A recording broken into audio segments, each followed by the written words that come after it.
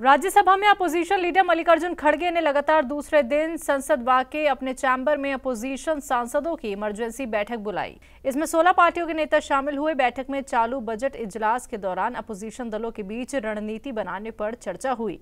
अड़ानी पर Hindenburg report को लेकर संसद में जमकर हंगामा हुआ। इस मामले पर चर्चा की मांग को लेकर लोकसभा और राज्यसभा के कई सदस्यों ने स्थगन नोटिस दिया, जिसे स्पीकर ने खारिज कर दिया। इसे लेकर अपोजिशन दलों ने खूब हंगामा किया। इस बीच कांग्रेस ने 6 फरवरी को मुल्क भर के सभी जिलों में एलआईसी और एसबीआई के दफ्तरों के सामने मुजाहरा करने का फैसला किया है। अडानी ग्रुप के मुद्दे को लेकर आम आदमी पार्टी सांसद संजय सिंह ने एक बार फिर से मरकजी सरकार पर निशाना साधा है। उन्होंने कहा है कि ये सिर्फ़ अडानी का भ्रष्टाचार नहीं, मोदी सरकार का भ्रष्टाचार है। 267 का नोटिस मैंने आज भी दिया है, कल भी दिया था। और हमारी एक ही डिमांड है कि इस पे जेपीसी बने, Supreme Court monitor time bound inquiry हो इसकी। ये अकेले अडानी का भ्रष्टाचार नहीं है ये नरेंद्र मोदी सरकार का भ्रष्टाचार है। नरेंद्र मोदी का संरक्षण है अडानी को। नरेंद्र मोदी जी की पूरी पैरवी सारी कंपनियों के लिए रहती है कि भाई इसी को मिलना चाहिए। इसी को कर्जा मिलना चाहिए, इसी को सीमेंट मिलना चाहिए, इसी को कोयला मिलना चाहिए, इसी को रेल मिलना चाहिए, एयरपोर्ट मिलना चाहिए, पोर्ट मिलना चाहिए। कौन दे रहा है? मोदी जी दे रहे हैं। किसका काला धन है? भारत के प्रधानमंत्री अगर सामने नहीं आ रहे हैं, चुप है, खामोश है, मोदी जी का काला धन लगा हुआ है, विदेशों से आ रहा है हिंदुस्तान में। क्यों नहीं बोल रहे हैं? अडानी की कंपनी में लाखों करोड़ रुपए विदेशों से फर्जी कंपनियाँ बना के किसका पैसा लाया गया? भारत के प्रधानमंत्री सवालों के घेरे में है और सवाल का जवाब देने से बच नहीं सकते। इसलिए मैं कहना चाहता हूँ कि इस पर बिल्कुल विलंब नहीं करना चाहिए। पार्लियामेंट में इसके बारे में चर्चा कराइए और जेपीसी या Supreme Court monitored time bound इस पर होनी चाहिए। देश के लाखों लो, करोड़ों लोग आज चिंतित हैं जिनका पैसा एलआईसी में लगा हुआ है जिनका पैसा एसबीआई में जमा है। देश की सबसे बड़ी संस्थाएँ ये दोनों संस्थाएँ जिसमें करोड़ों लोगों का लगभग लगभग 80 करोड़ लोगों का पैसा जमा है किसी न किसी रूप में। तो ये संस्थाएँ अगर डूब जाएँगी तो तो जनता डूब जाएगी। और जनता डूब रही है। इसके अलावा पासपोर्ट भी जब्त करने की आपने डिमांड की पासपोर्ट जब्त करने के लिए तो चिट्ठी लिखा है हमने। भाई नरेंद्र मोदी जी चिड़िया उड़ योजना चलाते हैं। कभी उन्होंने कहा ललित मोदी उड़ कभी कहा नीरो मोदी उड़ कभी कहा मेहुल चौकसी उड़ कभी कहा विजय माल्या उड़ कभी कहा नितिन संदेशरा उड़। कल को चिड़िया उड़ योजना के तहत ये गौतम अडानी उड़ हो गया। तो क्या होगा इस देश का? ये अकेले अडानी का भ्रष्टाचार नहीं है। ये भारत के प्रधानमंत्री नरेंद्र मोदी जी का भ्रष्टाचार है। भारत के प्रधानमंत्री नरेंद्र मोदी जी ने उसको एलआईसी और एसबीआई से लाखों करोड़ के कर्ज दिलवाए। भारत के प्रधानमंत्री ने इस व्यक्ति को पोर्ट दिलवाया, एयरपोर्ट दिलवाया, इस व्यक्ति को कोयला दिलवाया, इस व्यक्ति को आयरन ओर दिलवाया सब कुछ इसके हवाले कर दिया। सड़क बिजली पानी तेल रेल सब। मरकजी वज़ीर प्रहलाद जोशी ने सदन में हुए हंगामे को लेकर अपोजिशन पर निशाना साधते हुए कहा कि अपोजिशन के पास चर्चा के लिए कोई मुद्दा नहीं है। हमारे सरकार का लेना देना कुछ नहीं है। नो कनेक्शन एंड राष्ट्रपति का अभिभाषण का चर्चा प्रायोरिटी रहता है चर्चा शुरू करने के लिए जा रहे हैं तो उनके पास कुछ मुद्दा नहीं है सुप्रीम कोर्ट ने 2002 की गुजरात दंगों से मुतालिक बीबीसी डॉक्यूमेंट्री को सेंसर करने से रोकने के लिए मरकजी सरकार को ऑर्डर देने की मांग वाली अर्जी पर मरकज को नोटिस जारी किया सुप्रीम कोर्ट ने मरकज से तीन हफ्तों में जवाब मांगा है सुप्रीम कोर्ट ने मरकज को बीबीसी की इंडिया द मोदी क्वेश्चन को ब्लॉक करने के अपने फैसले से मुतालिक रिकॉर्ड पेश करने के लिए कहा है इस मामले पर सुनवाई अब अप्रैल से होगी।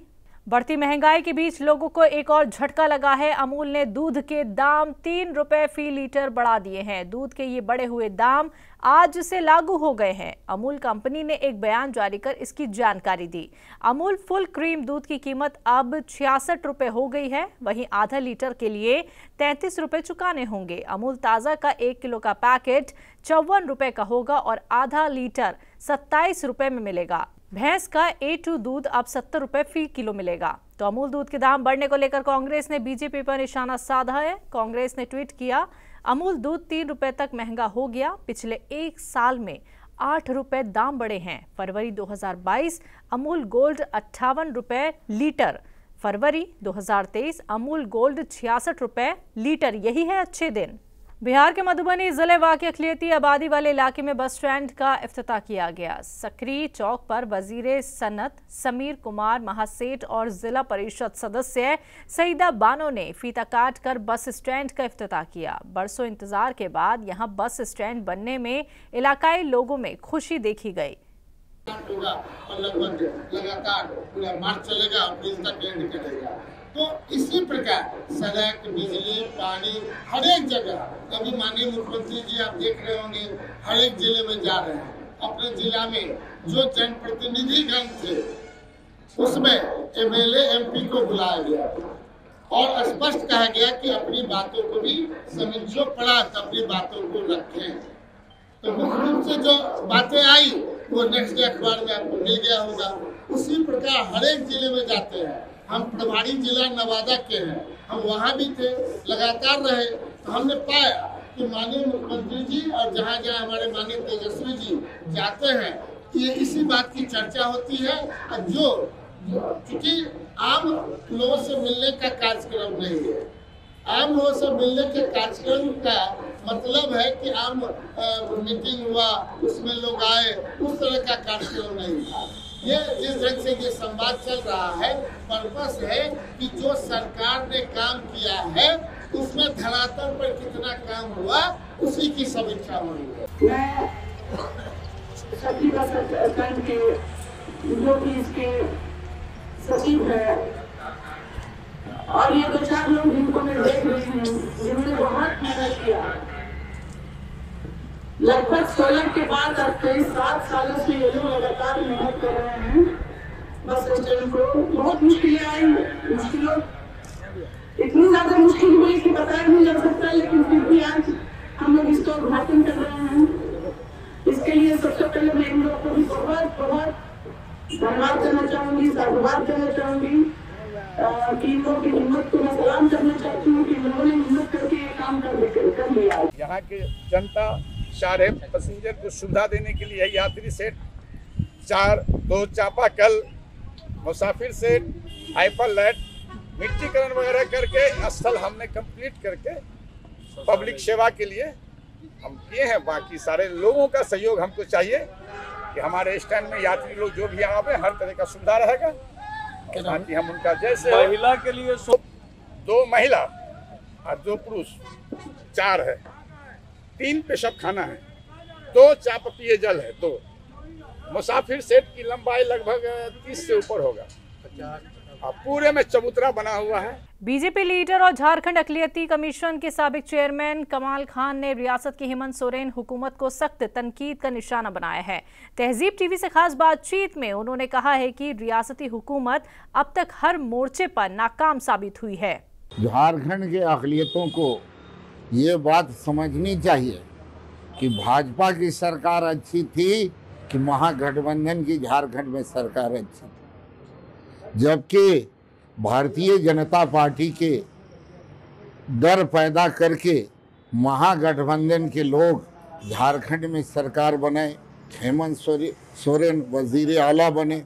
लेकिन अकलियतों के मसला का कोई भी मामला हल नहीं कर पाए, जिसका ये तीन साल के शासन काल में हेमंत सोरेन का ज़िंदा मिसाल अभी तक अकलियती कमीशन नहीं बनी। अकलियती कमीशन बनने से झारखंड के गरीब गुरबा हज़ारों लोगों का अभी तक बहबूदगी और तरक्की और छोटा छोटा जो मसला था, जो कमीशन के यहाँ से हल हो जाते थे, वो नहीं हल हो पा रहा है। जिधर तिधर भटक रहे हैं, न अभी तक वक्फ बोर्ड का गठन हुआ है। जिसके लेकर अकलियतों के मसला, बोर्ड का जो मसला है, वक्फ बोर्ड का, बहुत सा पेंडिंग पड़ा हुआ है। न अल्पसंख्यक वित्त विकास निगम का तस्कील है। तो जो भाजपा का डर पैदा करना और एक मुश्त वोट महागठबंधन के लोग झारखंड में लेकर अकलियतों का शोषण करने का काम झारखंड में ये महागठबंधन की सरकार कर रही है। वो पूरी तरह से ये सरकार नाकाम है। तो योग गुरु बाबा रामदेव ने इस्लाम और मुसलमानों को लेकर एक बार फिर से मुतनाजे बयान दिए हैं। आइए आपको सुनवाते हैं, क्या कुछ कहा उन्होंने। मुसलमान से पूछो, थारो धर्म ठीक है? वो कहे कि, बस पाँच बार नमाज़ पढ़ो, फिर जो मनवा वो करो, चाहे हिंदुओं की छोरियों में ठाके लाओ, चाहे जो भी पाप करने करो। वो इस्लाम का मतलब नमाज़ समझते हैं। घने पाप करते हैं हमारे बहुत से मुस्लिम भाई। लेकिन नमाज़ ज़रूर पढ़े मेरे बेटा। और उनका स्वर्ग का मतलब? स्वर्ग का मतलब है टखने के ऊपर पैजामा पहनो, मूछ कटवा लो, टोपी पहन लो ऐसा कोई कुरान कहता है या ऐसा इस्लाम कहता मैं नहीं कह रहा हूँ, लेकिन ऐसा ही कर रहे हैं कि बस फिर तुम्हारी जन्नत में जगह पक्की और जन्नत में के मिले? जन्नत में हुर्र मिले उठे दारू पीणों क्यों बोले। भाई, ऐसो, ऐसी जन्नत तो जहन्नुम से भी बेकार है। लेकिन फिर भी लोग मुँह कटवा रहे सिर पर टोपी रख रहे और बस पागलपन है। इस्लाम इस्लाम महान और सारी दुनिया को इस्लाम में तब्दील करना लोग इसी चक्कर में पड़े हुए। वहीं बाबा रामदेव के इस बयान पर सपा सांसद शफीकुर रहमान बर्क ने सख्त तनकीद का इजहार किया है। आइए आपको सुनवाते हैं क्या कुछ कहा उन्होंने।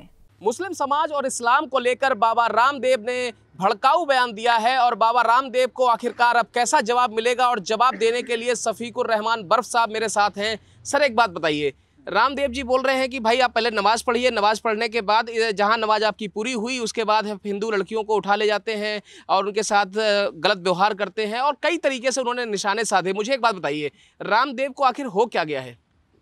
रामदेव, ये तो वो जाने उन्हें क्या क्या बीमारी हो गई है कि वो इस किस्म का सवालात कर रहे हैं इस्लाम वाले मुसलमान, हम मुसलमान हैं, इस्लाम के मानने वाले हैं, कुरान शरीफ के मानने वाले हैं, कुरान शरीफ हमारा एक आइन है। समझ गए कानून है जो अल्लाह का दिया हुआ है, उसी पर सारा मुसलमान चलता है। लेकिन जहाँ तक रामदेव जी का ताल्लुक़ है, वो किस धर्म के हैं किस अकीदे के मानने वाले हैं, किस किताब के, वो जाने। मैं उससे, मुझे कोई गर्ज नहीं है, लेकिन उन्हें इस कस्म की का अटैक इस्लाम पर नहीं करना चाहिए। तो क्या आप एक बात बताइए जिस तरीके से उन्होंने ये बयान दिया है तो क्या आप उनके खिलाफ अब कार्रवाई की मांग कर रहे हैं? क्या आप खुद भी एफआईआर कराएँगे? ना मैं कोई एफआईआर नहीं करा मैं झंझट में पढ़ रहा। जी। खुद खुद वो हिंदुस्तान खुद ही इसका जवाब दे देगा। सर अगर मुसलमान शब्द का अर्थ समझाना हो बाबा रामदेव को तो कैसे समझाएँगे? भाई समझाइए कि इस्लाम तो पूरा एक निज़ाम है एक कानून है जो। सारी दुनिया यहीं नहीं हिंदुस्तान में नहीं। यहाँ तो लगभग पचास करोड़ मानता हूँ मैं मुसलमान इस हिंदुस्तान में। लेकिन सत्तावन मुल्कों में गवर्नमेंट है मुसलमानों की। समझ। तो तीन अरब से कम आदमी मेरे ख्याल में नहीं होगा ज़्यादा ही होगा। तो मतलब ये है कि इसने इसका मानने वाले क्या राम ये जो है आपने नाम लिया क्या नाम? रामदेव रामदेव। रामदेव जी जो है। से क्या मशवरा करने जाएँगे हम उनसे? उनके मोहताज हैं उनके मोहताज नहीं है। हमारा कानून अलहदा है। हमारा मज़हब अलहदा है। हमारी सोच अलहदा है। बहरहाल उनसे हमारा कोई मतलब नहीं उन्हें इस बात को अटैक करना इस्लाम पर अटैक करना जो है ये मुनासिब नहीं है। सर नौ राज्यों में चुनाव है इस साल। हाँ। अगली साल 2024 में लोकसभा का चुनाव है तो क्या ये माना जाए कि एक हिंदुत्व की पिच तैयार की जा रही है जिसके लिए अब सर्वे सर्वा बना दिया गया है? बाबा रामदेव और धीरेन्द्र शास्त्री जैसे लोगों को कि आप पहले आप इसकी पिच की तैयारी कीजिए उसके बाद फिर जो आ, मतलब ऐसी पार्टियाँ हैं उसके बाद वो आएँगी उस पर बैटिंग करेंगी। तो क्या ये मान लिया जाए ये तेईस और चौबीस को देखते हुए इस तरीके के बयानबाजी हो रही है? तो बयानबाजी इस तरीके से होने से इलेक्शन नहीं जीता जा सकता। ये सोच बीजेपी की गलत है वो इस किस्म के भरम पैदा करके और हालात पैदा करके मतलब ये जीतना चाहते हैं। इन करारी उन्हें हार होगी इससे आप देखेंगे। सरकार से मांग कर रहे हैं कि बाबा रामदेव के खिलाफ एक्शन लें कार्रवाई करें। नहीं तो वो तो सरकार देखे कि अगर वो उनके उन मजहबी एतबार से ये मुनासिब नहीं है इस तरीके से किसी के मज़हब पर अटैक करना। चलिए वक्त देने के लिए बहुत शुक्रिया। तो साफ़ तौर पर आप सफ़ीकुर रहमान बर्फ़ साहब को सुन रहे हैं जिनका ये कहना है कि इस तरीके की बयानबाजी मुनासिब नहीं है इससे बचना चाहिए। पर ये तो बाबा रामदेव हैं कहाँ मानेंगे? कैमरा पर्सन जस्सी के साथ मोहित शुक्ला तहजीब टीवी दिल्ली। बाबा रामदेव के इस्लाम पर दिए गए बयान पर दारुल उलूम फरंगी महल के तर्जुमान सूफिया निज़ामी ने जवाब दिया। देखिए हमारे मुल्क में एक फ़ैशन चला है कि धर्म संसद के नाम पर अधर्म की बातें फैलाई जाए। और वहाँ पर सिर्फ़ और सिर्फ़ मुसलमानों और इस्लाम पर छीटाकशी की जाए। यकीनी तौर पर धार्मिक लोगों का और धर्म संसद का कतई तौर पर यह मकसद नहीं होता है कि किसी के भी मज़हब के ख़िलाफ़ या मुसलमानों के ख़िलाफ़ कोई अभद्र टिप्पणी की जाए। अगर आपके पास अपने मज़हब की कुछ अच्छी बातें हैं तो आप वो लोगों तक पहुँचाने का काम करें। बेजा और बिला ज़रूरत दूसरे मज़हब पर और ख़ास तौर पर मुसलमानों पर जो टिप्पणियाँ की जा रही हैं और बार बार जो छीटाकशी की जा रही है, ये कतई तौर पर किसी भी सूरत में मुनासिब नहीं है। जहाँ तक बाबा रामदेव साहब का ताल्लुक़ है तो उनको ये खुद तय करना है कि वो एक धर्मगुरु हैं, वो एक संत हैं, एक व्यापारी हैं या एक राजनेता हैं। क्योंकि जिस तरीके की ज़बान वो इस्तेमाल कर रहे हैं, यकीनी तौर पर वो किसी धार्मिक शख्स की या संत और साधु समाज से ताल्लुक़ रखने वाले शख्स की ज़बान नहीं हो सकती। ये यकीनी तौर पर किसी राजनेता ही की ज़बान हो सकती है। और धर्म संसद का अगर यही मकसद है कि वो मुसलमानों और इस्लाम के ख़िलाफ़ छीटाकशी की जाए तो यकीनी तौर पर ऐसे धर्म संसदों पर पाबंदी लगनी चाहिए, जहाँ पर सिर्फ़ नफ़रत की बात की जा रही हो। अगर वाकई में आपको काम करना है तो मोहब्बत के पैगाम को आम करें। नफ़रत के ख़ात्मे के लिए धर्म संसद को आयोजित करें तो ये ज़्यादा बेहतर होगा।